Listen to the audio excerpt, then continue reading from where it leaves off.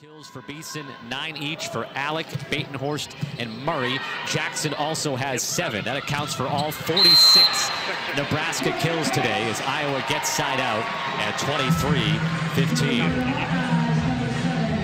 That was an important stop for the Hawkeyes. The run that was continuing with Nebraska, and it's been pretty tight with the defense working to get a point.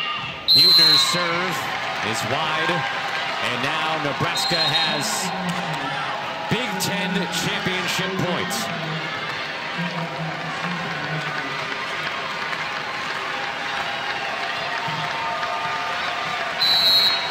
The crowd knows it. Laney Choboy to serve.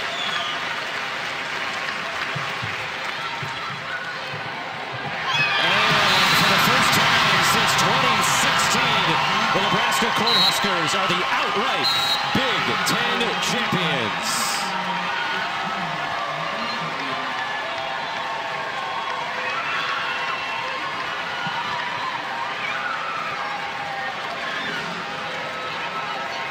They get the large contingent of their fans on Iowa's home floor, and they get to celebrate the Big Ten championship as they run away with this one late it was 10-10, a 15-5 run to end the third set, and the Cornhuskers sweep the Hawkeyes today to go to 27-0, 18-0 in the Big Ten.